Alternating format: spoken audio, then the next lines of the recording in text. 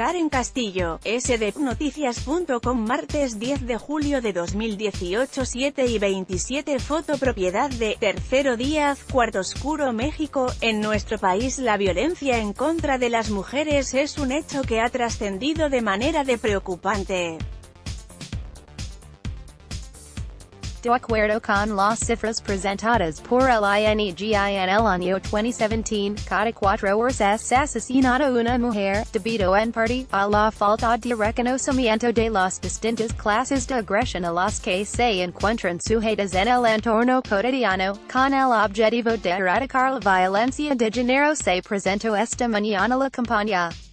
la violencia de género, así como sobre la importancia de promover la cultura del respeto en toda la población. Lisa Sánchez, directora general de México Unido contra la Delincuencia, explicó en entrevista para SDP Noticias que con la campaña además de hacer conciencia sobre la situación, se ofrece una oportunidad de acercamiento con especialistas para la denuncia toda clase de situación que ponga en riesgo los la dignidad del género. Para nosotros es sumamente importante visualizar e informar a las mujeres de que estas situaciones existen, son inaceptables y de que hay forma de denunciarlas y superarlas de manera que no se repitan.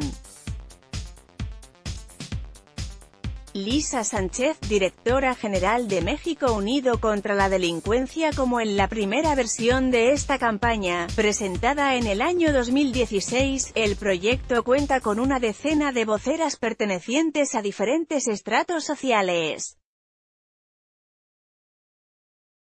Figuras como Montserrat Oliver, Paola Rojas, Denise Dresser, Verónica Townsend, Ana Serradilla, Faye, Ana Torroja y Lila Downs, acompañan a la campaña para transmitir una cultura de respeto hacia las mujeres. La difusión de la campaña tendrá lugar en redes sociales y en todos los muebles urbanos ofrecidos por Grupo IMU.